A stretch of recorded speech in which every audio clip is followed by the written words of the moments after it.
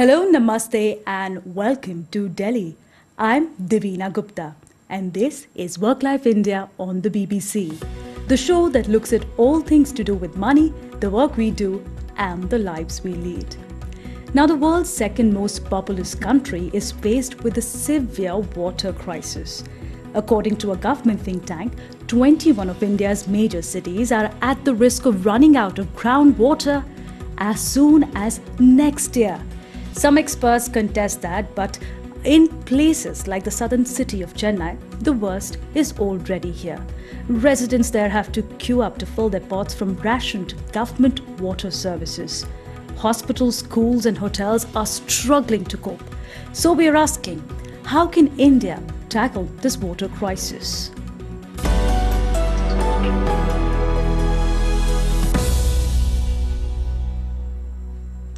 According to the Indian government think tank Niti Aayog, nearly 600 million people in India face water woes each day.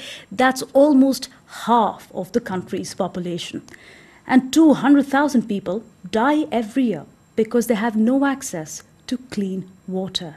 But are efforts being made to improve the situation and what more needs to be done? To talk all about it, we have Aditi Mukherjee, who's part of International Water Management Institute. Welcome, Aditi. Are people more aware of the environmental issues in India now than they were earlier? Yes, I believe so. With with like droughts following floods, I think water and issues of water, air pollution are on the news constantly. So I believe people are more aware than before. All right, we also have Jyoti who's working on recharging water tables, especially in city through rain harvesting solutions. Welcome, Jyoti, and I know you have a water mantra right at the start of the program. What is it? The five R's of water reduce, reuse, recharge, recycle, and most important, respect water absolutely respect water because that's the lifeline and we talk all about it on the show today. And we have arun krishnamurthy who actually gave up a very cushy corporate job uh, to be part of environmentalist foundation of india which revives water bodies in southern india. Arun from your heart which has been more satisfying the money or the clean water that you provide to many? Working for india's environment any day Absolutely, isn't it? But I want to ask you, Arun, that after so much effort that you have done in reviving water bodies in Chennai as well, we're seeing one of the worst situation of water crisis. Can you tell us, you are coming from that city right now, what's the situation? Uh, it is uh, an extreme desperate situation, no doubt. Uh, the monsoons have failed uh, uh, last year, which because of which a dynamic industrial hub, which is an economic hub, is mm definitely facing a major, major water crisis, no doubt. But also something which we need to understand: the uh, pressure on groundwater reserves is immense because of which we've arrived at this point in time at this point right? Also the fact that this has been in the making for the last 2 3 decades now. And definitely the corrective measures have also started in the last 5 6 years but it's not enough and we we need to do so much more and we're running out of time were you given warnings when the water crisis Nature, there like definitely. cape town where people were counting down to day zero that's when they will not have any water uh, 90 days before that and conservation efforts continued the media's attention to Chennai's water crisis has been uh, in the recent past, mm-hmm. but Chennai citizens and their reactions to Chennai's water crisis mm-hmm. has been for over 20 months. So it's not that something we've suddenly woken up. Uh, the media is talking about it now, yes, no doubt, but Chennai citizens, yes, had. And still, we saw the, this large crisis, Aditi, and Chennai is actually on a, in a coastal area. It's next to India's largest natural uh, beach Marina Beach. It has 300 plus lakes, it has 600 plus ponds, it has an urban marshland. Why is it that nothing was done to resolve this crisis before reaching at a point where residents have to struggle for drinking water as well? So while uh, my um, the point I would like to make is that the situation of Chennai is extreme right now, but what has happened across major cities in all parts of India mm. is the land use is such that these wetlands, these ponds, these natural river bodies have been encroached almost everywhere in name of real estate. And that is what has actually intensified the problem because those bodies are also the places where groundwater gets recharged. Mm-hmm. So we have kind of removed a natural source of water which purifies water, which recharges water. And what we we are seeing in Chennai is actually symptomatic of many other Indian cities.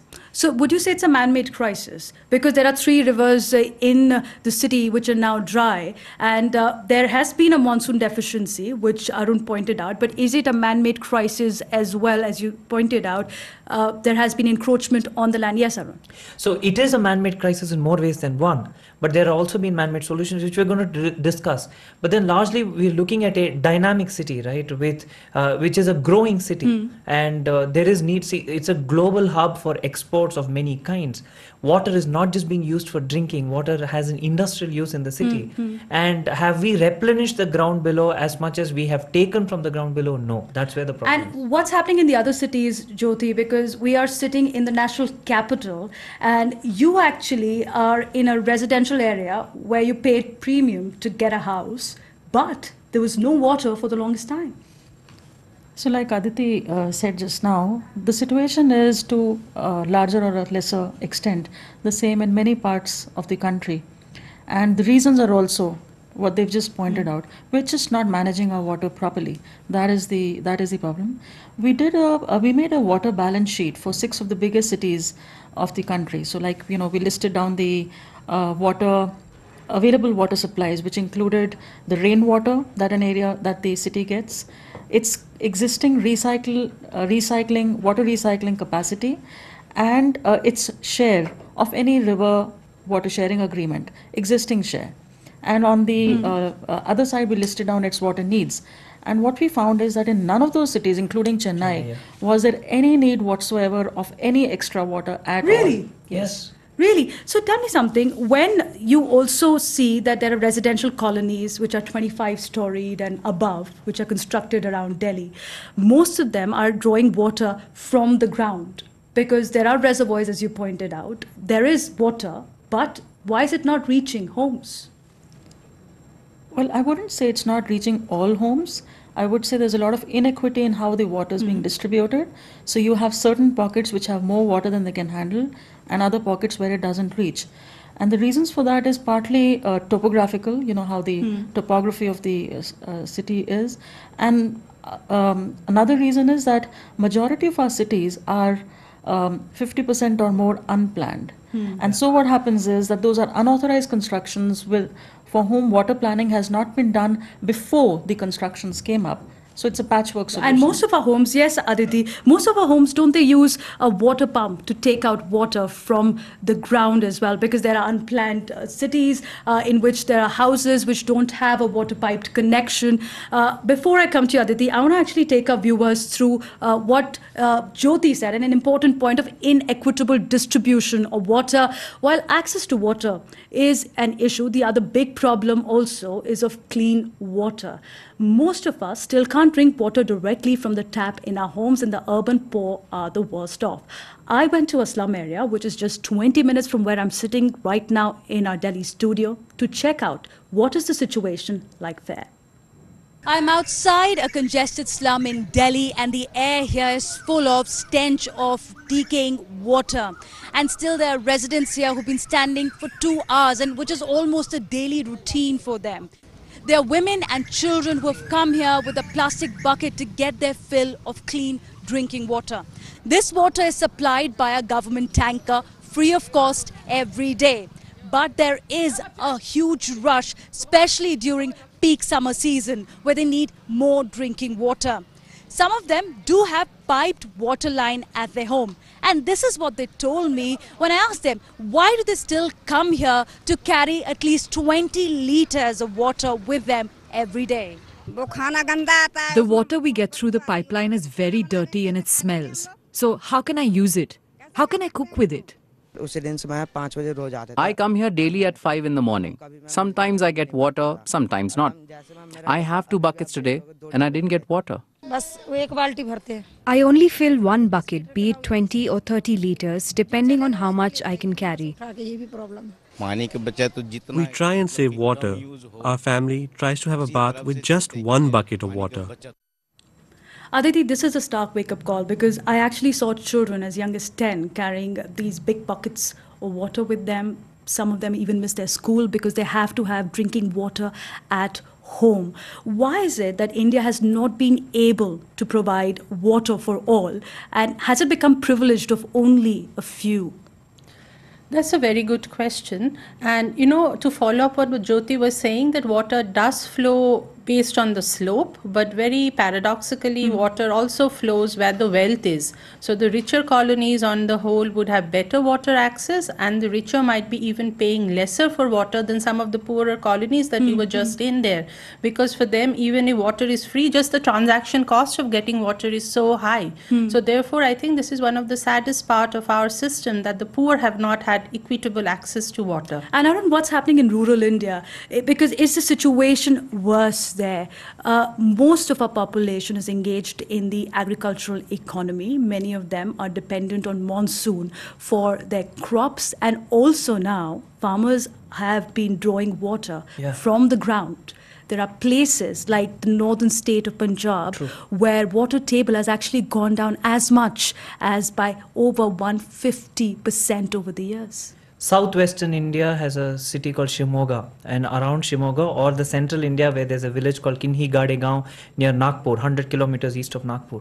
In both these places, if you visit, all farmers are tapping into groundwater reserves and they have extremely water intensive crops. Water literacy is what we are lacking at this point in time, despite the technological advances. The water literacy is what is going to help us get through this. Rural India is at a major, major water distress, no doubt.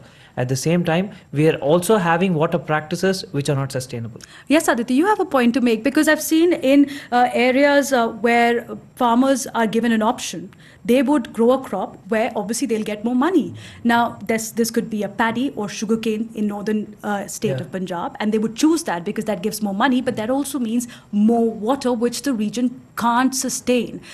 Why are policymakers not being able to come up with solutions? So I think here I would differ a bit with Arun and say it's not so much of a question of uh, water illiteracy or not knowing how to do water, use water best.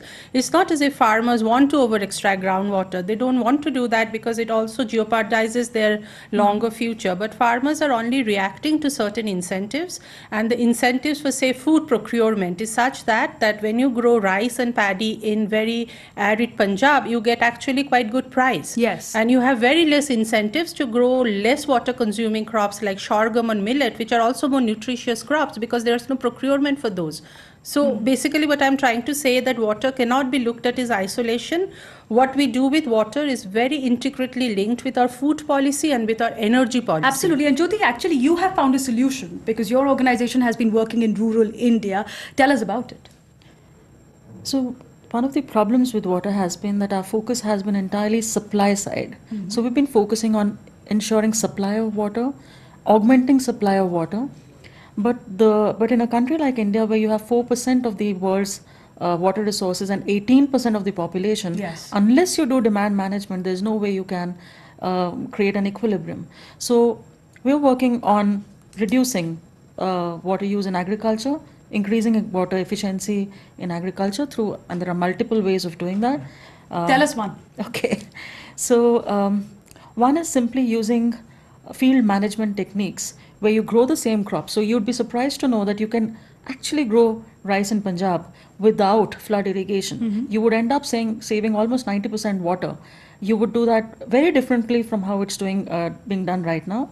So, rice is not the culprit. The way we grow rice is the culprit. And that's an interesting point when you said that water management has to start at an individual level. Uh, Arun, we do know that you've been working in the area of reviving water bodies. But when it comes to you, that glass of water that is right next to you, if you have to save that glass of water every day, just this much of water, what do you do? Simple as this. How much of water do I use for what purpose? Am I using fresh water to flush down my toilet? And what is the kind of water I've used for what purpose? And how do I reuse? Is what we've learned in Chennai in the last two years, right?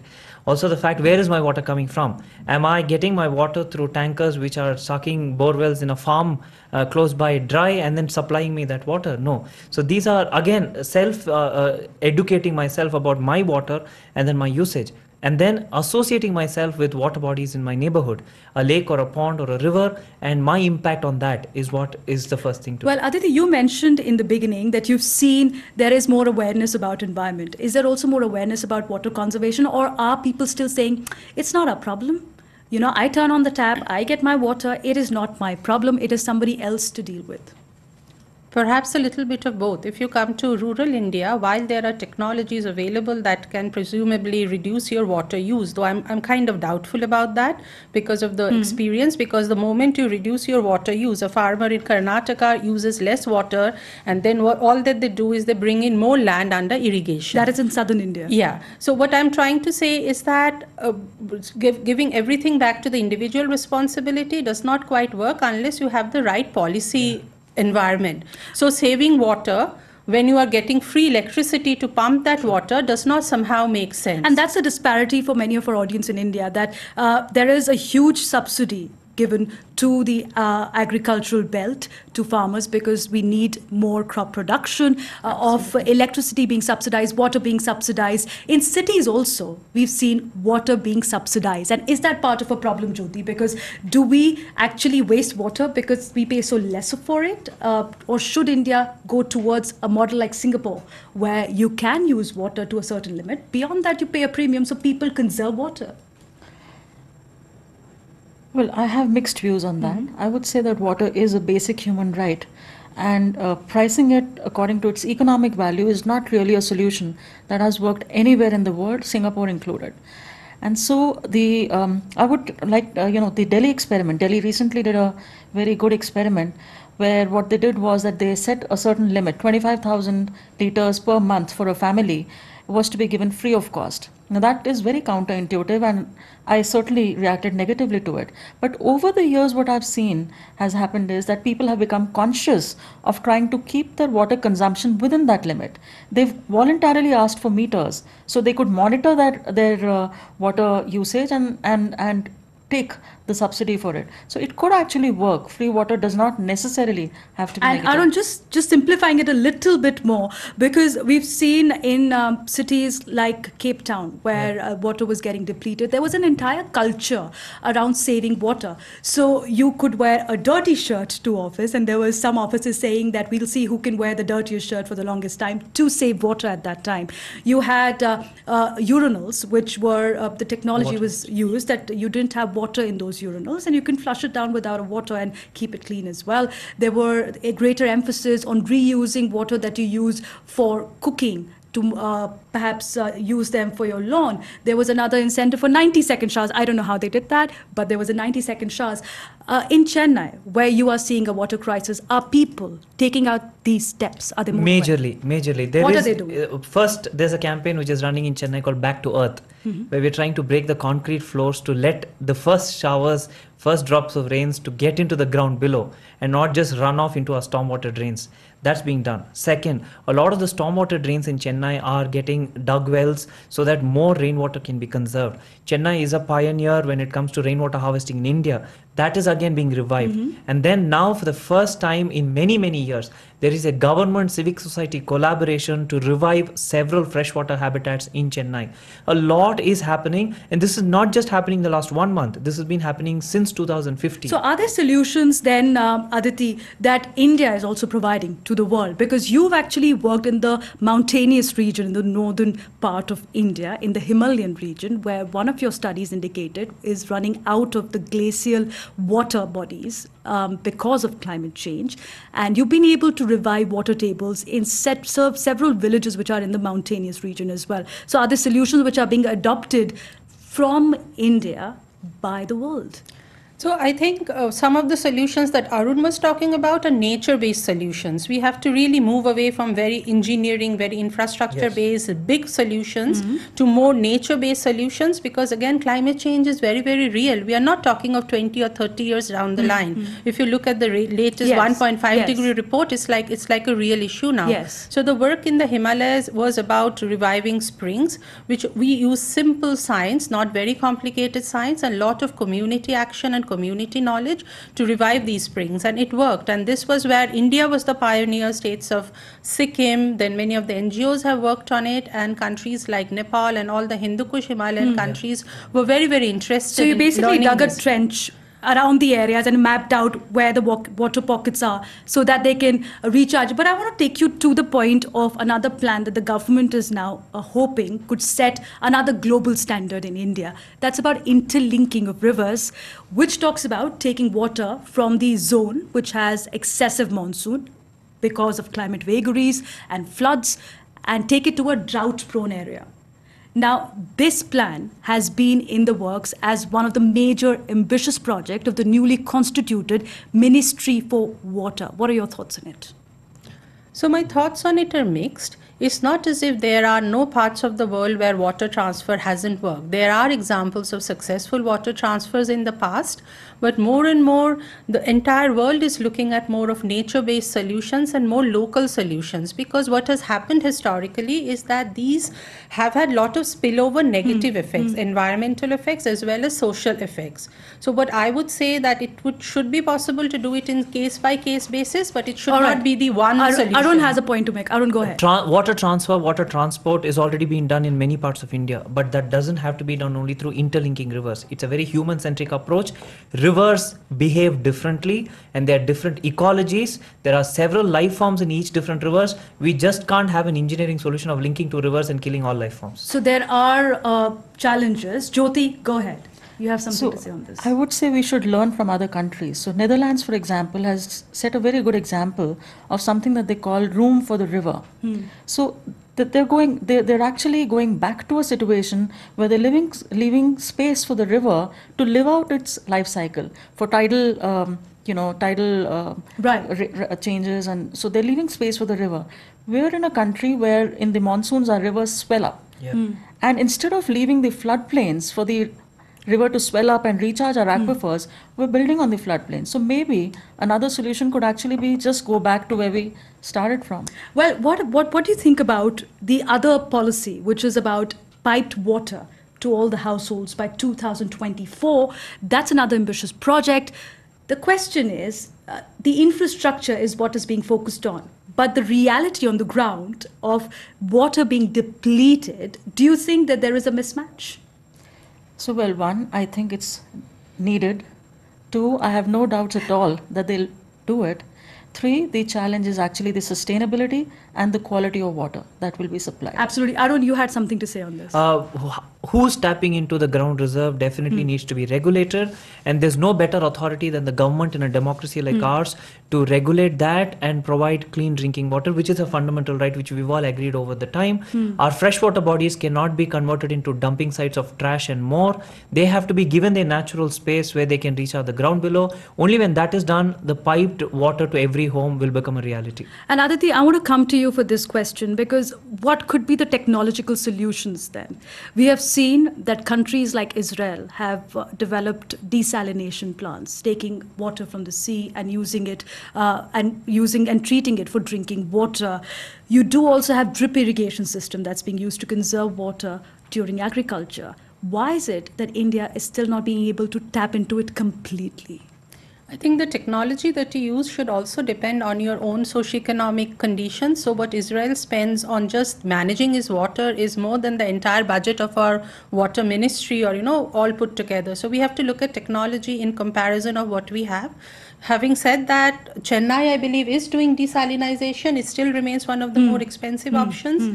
And then, uh, wearing a scientist hat, things are often not as simple as it seems. So, micro irrigation, let's come to that. I mean, I have worked in a lot of Yes, cases looking yes. at micro irrigation. Say in Karnataka, micro irrigation was adopted, and the, immediately what happened, farmer used to keep a certain field fallow, and the moment that they save some water, they actually expand their irrigated Okay. area. So adoption of technology did not translate into saving water. Hmm. So technology is kind of you know one of the one of the many threads Yeah, that you need to use. I'm afraid I'm out of time, but thank you so much for this engaging discussion.